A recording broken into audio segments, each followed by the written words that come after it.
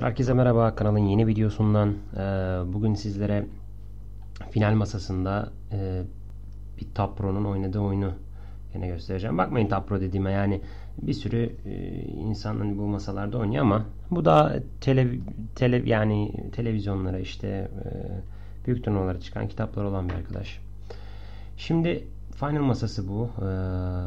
4 kişi kalmış şu anda. Pasif bu arkadaş 52k kalmış yani az sonra çıkacak. Blinded out olacak. Bitecek gidecek. Bu arkadaşın kaç star olduğunu hatırlamıyorum. Bizim 771K'mız var.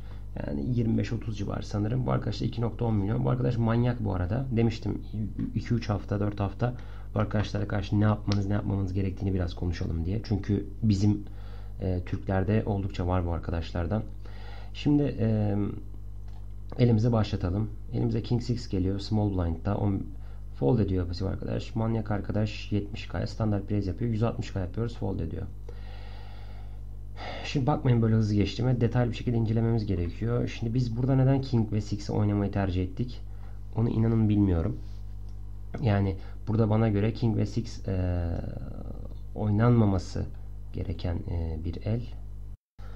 Evet King ve Six oynanmaması gereken bir el burada bence. Bu arkadaş yavaş yavaş zaten gidiyor. Biz bekleyip gayet sakin bir şekilde böyle small blind'dan foldlayıp e, üçüncü olarak, ikinci olarak veya birinci olarak bitirebiliriz. İlla ki oynayacağız diyorsak eğer bu eli bu eli call edemeyiz. Çünkü bu el call etmek için çok zayıf bir el arkadaşlar. Buradan small blind'dan bu eli call ederseniz muhtemelen flop çıktığında c-bet yaparsa bu arkadaş kuvvetli muhtemel yani king 6 falan vurmazsa çok sağlam bir el muhtemelen fold etmek zorunda kalırsınız. Ben kendim bunu foldlamayı tercih ederim. ICM'e göre de zaten e, bunu asla yapmamalıyız. Hele böyle pasif bir arkadaş varken. Neden out of position'da e, manyak bir arkadaşa karşı bunu oynamayı tercih edeyim? Yani hem tribet diyeceğim, üstüne c-bet diyeceğim, kol ederse ne yapacağım? E, gibi bir sürü soru var. Hani bunu illa yapacaksak in position'da 3 tribetlersiniz. E, yani out of position'da yapmamayı tercih etmeniz gerekiyor. Bence. Ben bu şekilde düşünüyorum. 160K'ya evet diyor. Daha da büyük aslında yapabilir bunu. Daha büyük bir tribet size yapabilir ama sanırım e, çok fazla para riske etmek istemiyor. Öyle düşünmüştü. Öyle düşünmüş olması gerekiyor. E, bu arkadaş foldluyor. Bakalım bu arkadaş ne yapıyor? Call ediyor. E, range az çok oturmuştur kafamızda ama manyak olduğu için wide bir range veriyoruz. King Queen 2'ye geliyor. Yani buna c yapmamız gerekiyor. Bizim range'imize uyan bir şey. Biz c yapıyoruz 150k kol ediyor. Şimdi 150k c bence ciddi bir rakam. Ben big bet'i tercih etmezdim. Yani 150k'nın yapacağı beti orada 100k'da, 110k'da, hatta 90k'da, 105k'da yapabilirdi zaten. 150k ciddi fazla bir bet olmuş. Hala pot committed değiliz. 476k'mız var 666k'ya. Ama yani şey oldukça zor bir el şu an bu bizim için.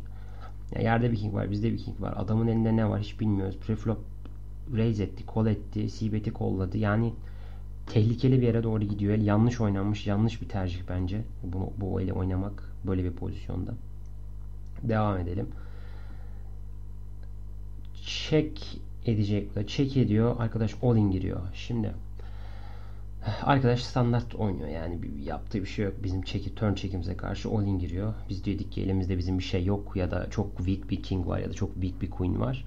Arkadaş da buna istinaden all in girdi.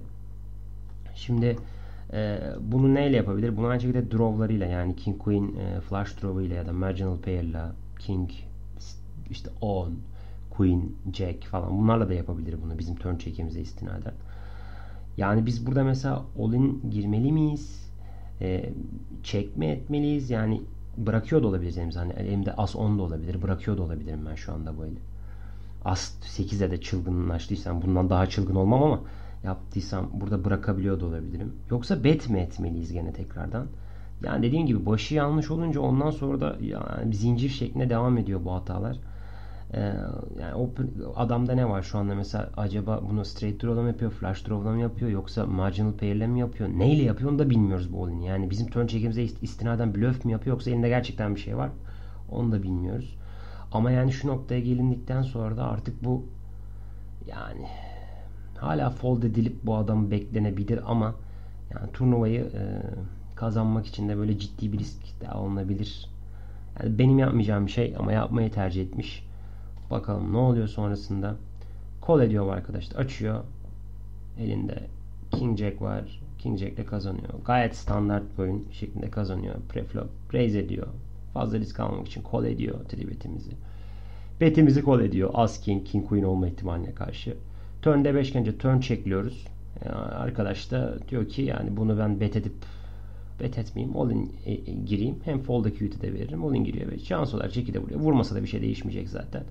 Botu bu arkadaş kazanıyor. Dediğim gibi burada iki tane temel soru var arkadaşlar. Birincisi ICM'e göre yapmamamız gereken iş yaptık. İkincisi de madem yapacağız bunu in position'da yapmayı tercih edebiliriz. Yani illaki e, manyak bir arkadaşa karşı böyle bir hareket yapacağız. Bari in position'da yapalım ki doğru bet size'larla daha doğru olsun. Bu el bence yanlış oynanmış bir el ama bunları da paylaşmak gerekiyor ki e, yani görün ne oldu ne olmadığını.